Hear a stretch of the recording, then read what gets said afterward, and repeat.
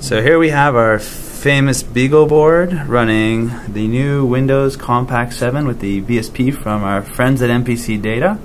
So we're just going to show you a quick demo of running our our frame rate test, uh, first with the GDI interface and then with the OpenGL ES uh, processor that's available on this board. So kick it, Bry.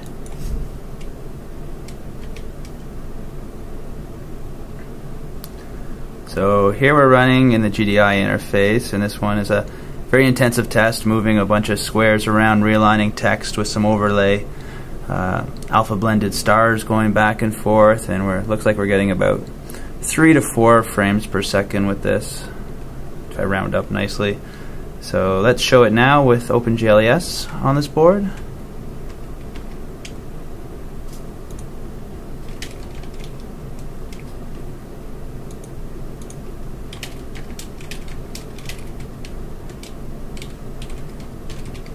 See how well Brian can type while I videotape.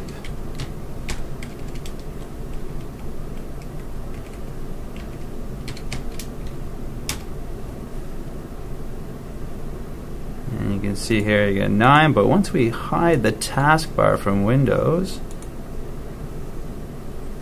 boom, we jump up to 20 frames per second, and you can see it's all moving nice and smooth now and very quickly.